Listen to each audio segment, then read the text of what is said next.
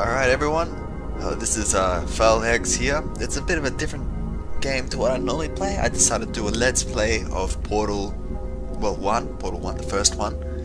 I did play a lot of Portal 2. I kind of found it easy-ish, and a lot of people told me Portal 1 is more difficult.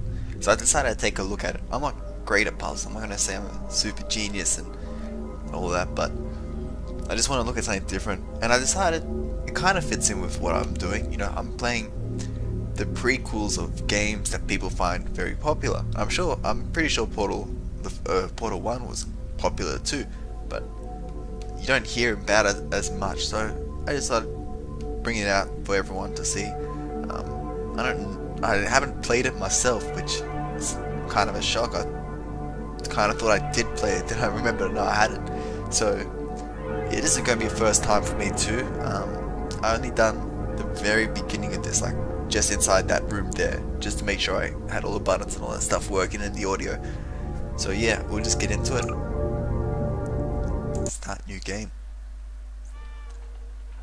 Um, I don't know too much of the story other than what happened at the beginning of Portal 2 that you assume happened in Portal 1 with GLaDOS and so forth. So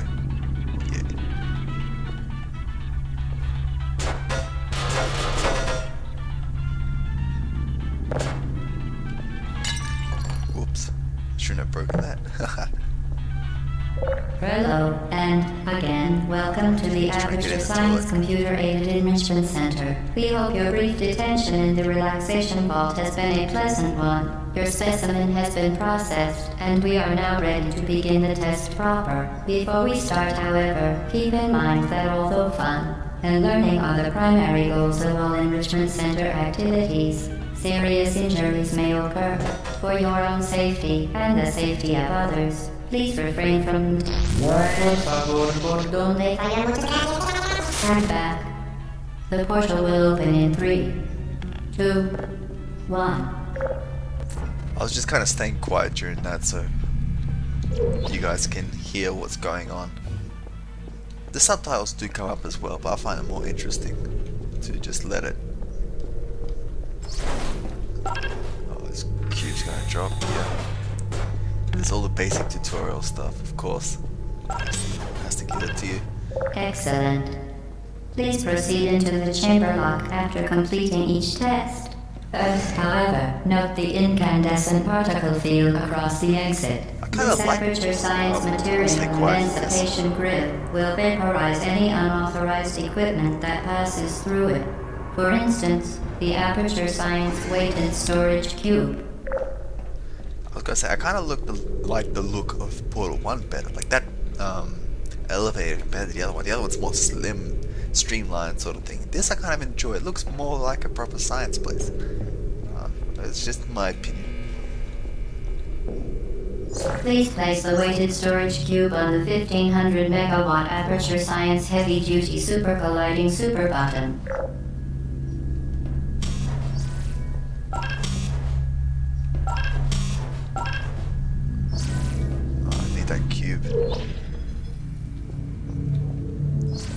That to open up.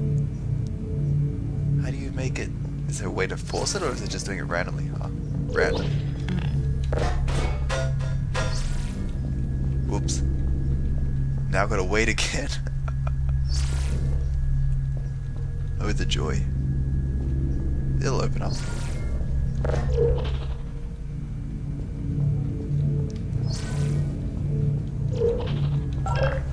Perfect. Please move quickly to the chamber lock as the effects of prolonged exposure to the button are not part of this test. It's just tutorials. Hopefully it's not too many of them. I think I'll make the first video just the tutorials and everything after that will be hopefully something more difficult. Uh, yeah, otherwise I, I'm, I'm quite enjoying the experience so far. I mean, just the feel of it you're doing does, does very, feel very well. Please be advised that a noticeable taste of blood is not part of any test protocol, but is an unintended side effect of the Aperture Science Material Emancipation Grill, which may, in semi-rare cases, emancipate dental fillings, crowns, tooth enamel, and teeth. I always love those little jokes that um, GLaDOS makes.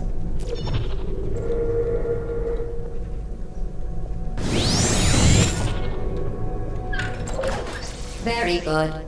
Yes, got a You are now in possession of the Aperture Science handheld portal device.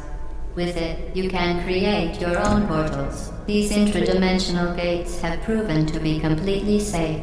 The device, however, has not. Do not touch the operational end of the device. Do not look directly at the operational end of the device. Do not submerge the device in liquid, even partially. Most importantly, under no circumstances should you This is another thing I enjoy about the whole Portal series. Those um, uh, how do I explain it? The dialogue between GLaDOS and the character herself is interesting. please proceed to the chamber lock. I always like taking this Mind the gap. To ensure the safe performance of all authorized activities, do not destroy vital testing apparatus. I'll go get over there now. Well done. Remember, the Aperture Science Bring Your Daughter to Work Day is the perfect time to have her tested. See, that's another example of that dialogue that I enjoy seeing between GLaDOS. Those um, those jokes she makes, but it doesn't. She's not intending the, the backhanded jokes. You know, I think that's what you call them. It's, it's, it adds to the um, the feel of the game. Welcome to Test Chamber 4. You're doing quite well. Oh, it doesn't work. Hey, I should have I should have guessed that.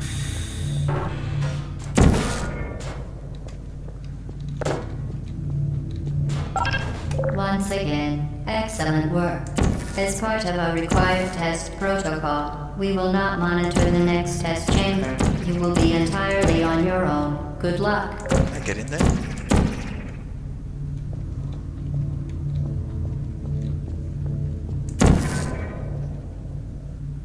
That doesn't work like that, does it? I don't know. It's probably some sort of Easter egg there.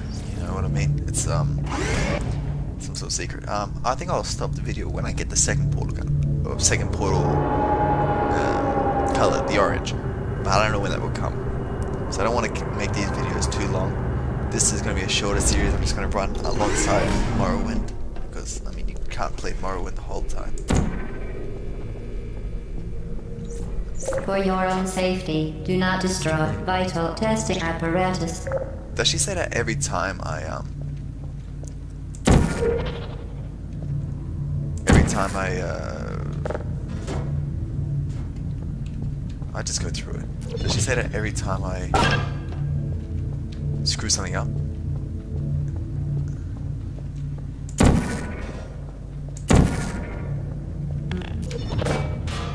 Oh, not screw something up. That's that's a bad word.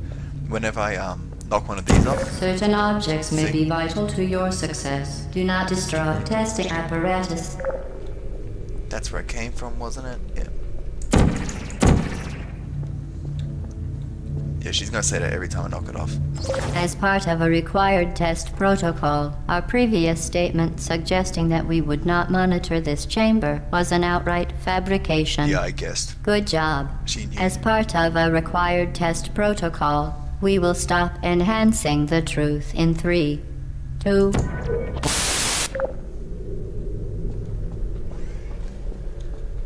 That was interesting. Kind of.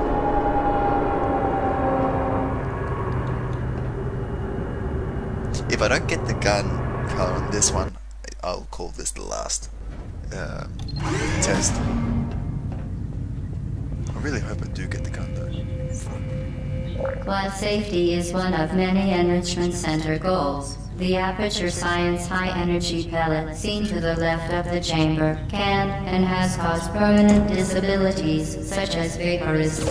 Unbelievable. You Subject name here. must be the pride of. Subject hometown here. Was that it? These are getting too easy. Okay, I know I said that would be the last one, but that wasn't even worth trying to do.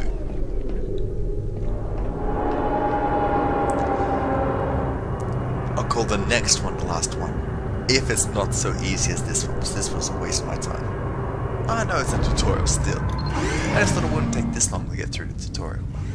Warning devices are required on all mobile equipment. However, alarms and flashing hazard lights have been found to agitate the high energy pellet and have therefore been disabled for your safety. Good. Now use the Aperture Science unstationary scaffold to reach the chamber lock.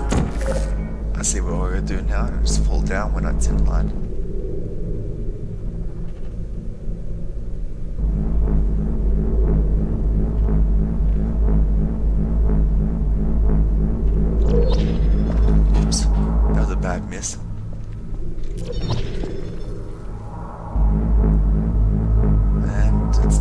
There's no cameras. I'm, I enjoy knocking them off.